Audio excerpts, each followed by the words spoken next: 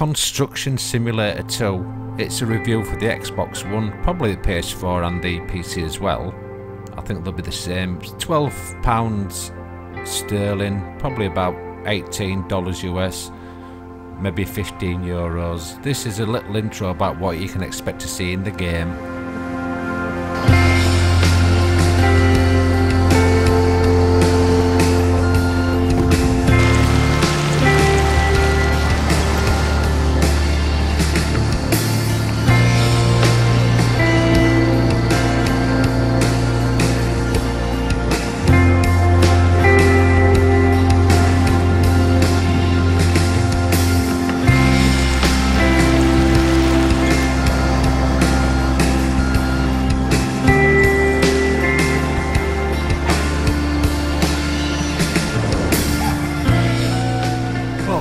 By the time I get to the end of this you're going to decide if you want to buy this or not. But it's only a budget game so I'm not going to be too harsh. I'm not going to criticise it too badly.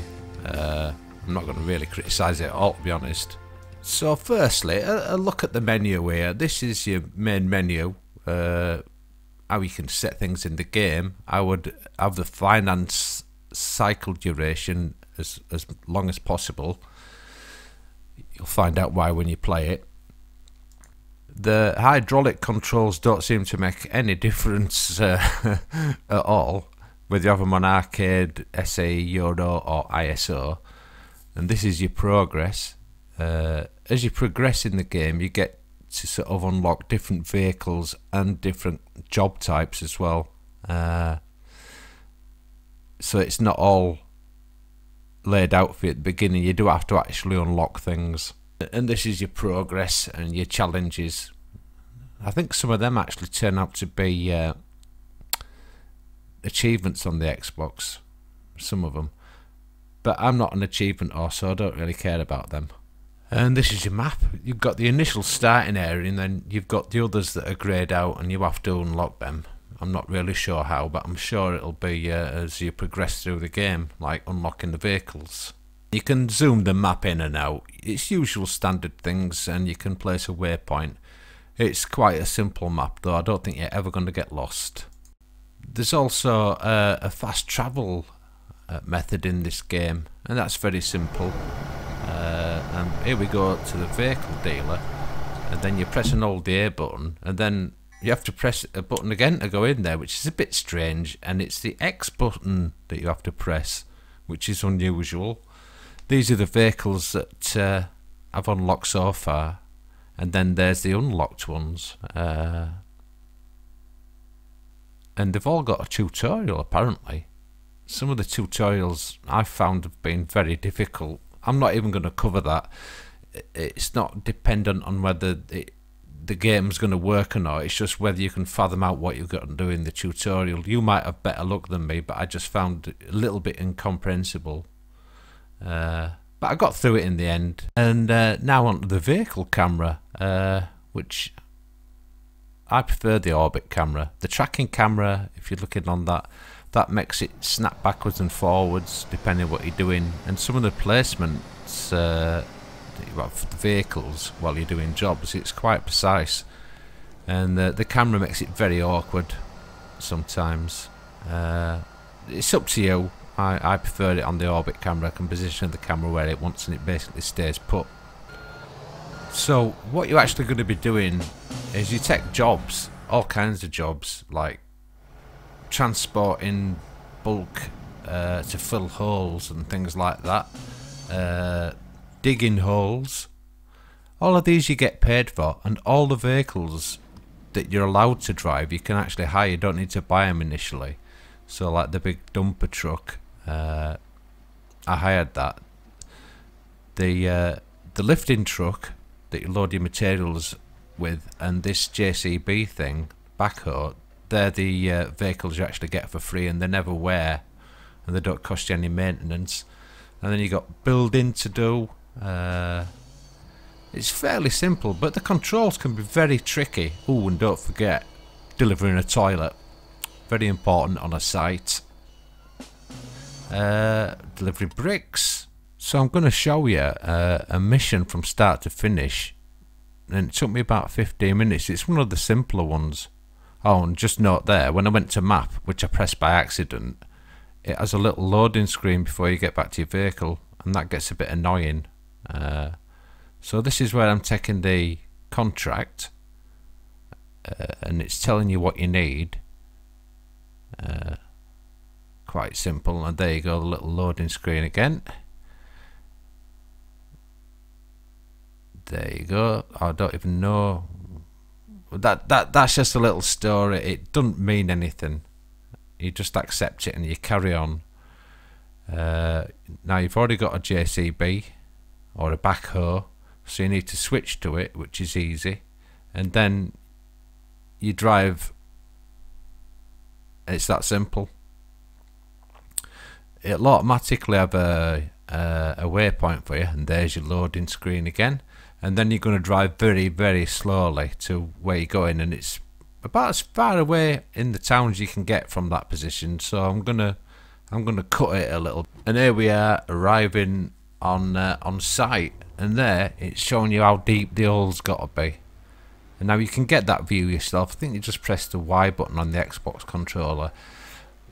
Now this is where it starts getting tricky uh, little bug here the the shovel went straight into the ground and I had to do it all again.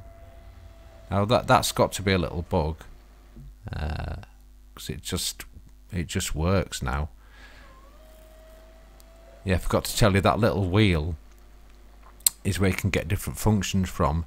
And there, in the bottom right hand corner, if you notice there's a camera icon, well, that's the right stick. You click that down, and that's also sharing movement with the from the elbow to the shovel.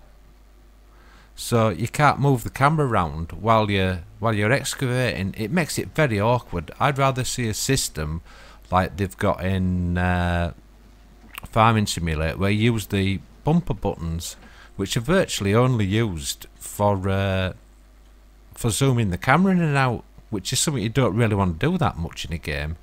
I'd rather see the controls different than this. I found them very awkward just digging this hole took an absolute age.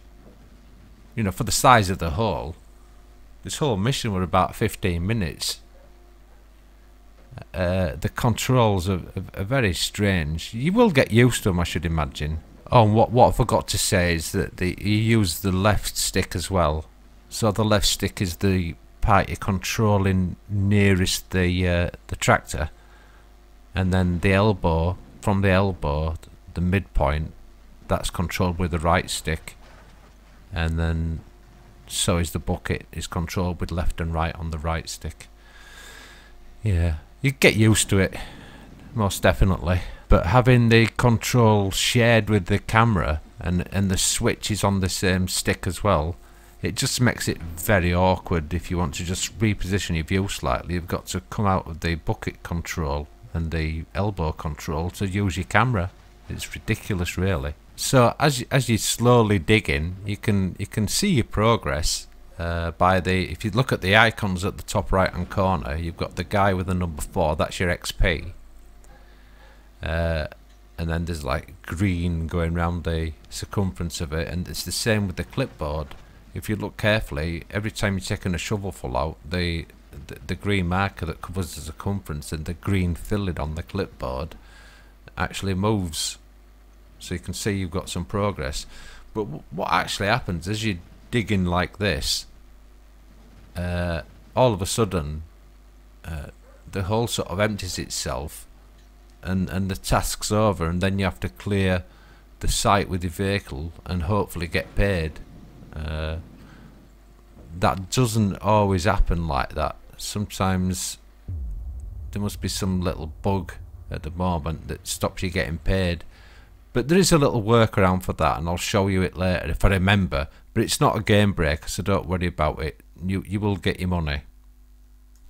I cut it there so that uh, it didn't go on too long. I mean, the job's finished. That clipboard's now fully green. And all we got to do is leave the site. As soon as you drive off, uh, you get paid basically. So this is resetting everything. This is the easiest way to do it by far.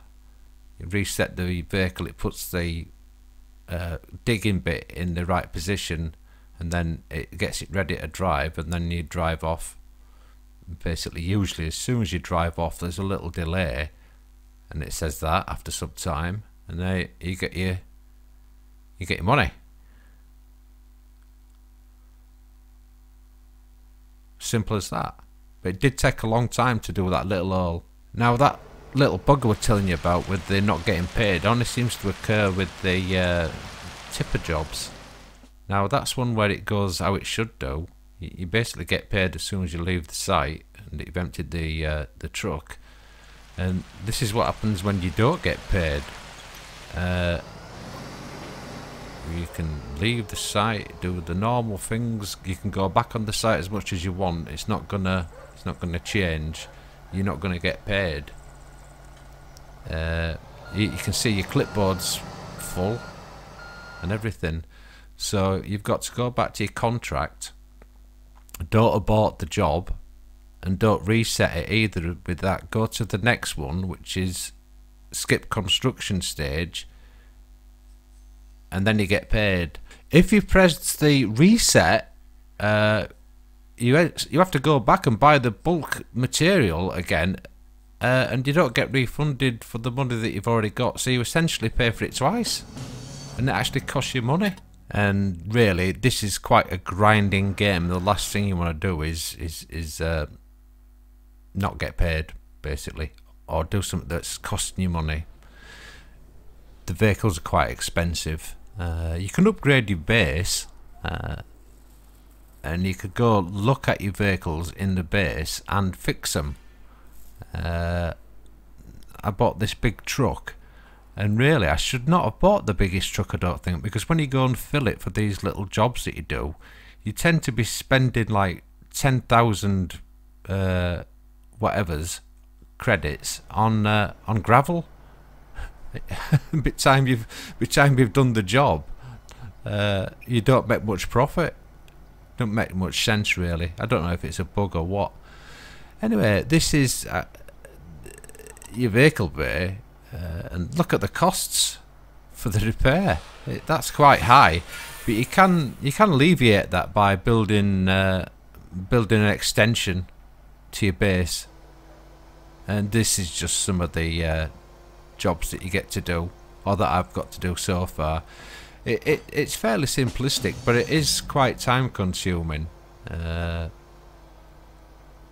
there was a lot of help with that. You could see the green outline and you just got near it and it snapped into position. I don't know if there's a way of making that more complicated or not. If you want it to be more complicated, uh, I, I doubt it. It'd be quite hard to do. This is a compactor. All these vehicles you can buy or rent, by the way. I mean, I know I've already mentioned that. And that's one where the camera's reset.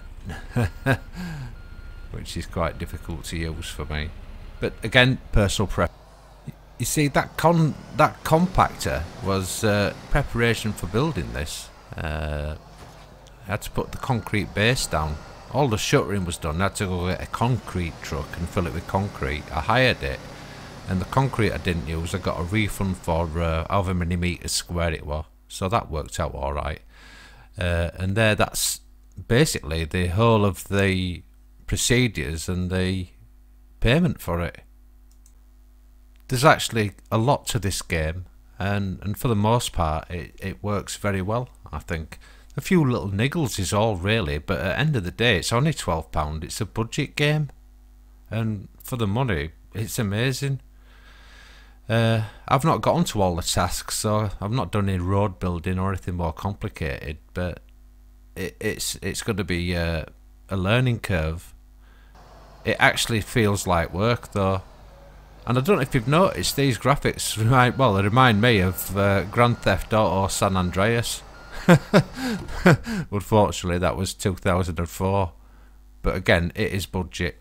And I think the graphics are not that important, really. This All this footage is off the Xbox One X. Uh, I've got a 4K monitor, so I'm I'm watching it in 4K while I'm playing. Uh, but this footage is 1080p, which is full high definition, so it should still look very good. Uh, for the money, I, I've got to say this is a hell of a lot of game and a lot of gameplay. It's just dependent on whether you're going to like it from what you've seen. I know that £12 not a lot, but it could be to some people. So it could make a difference. Plus, who wants to waste money anyway? £12 is £12. It's a good solid game and it's I think it's worth every penny basically. No doubt about that. Thanks for watching.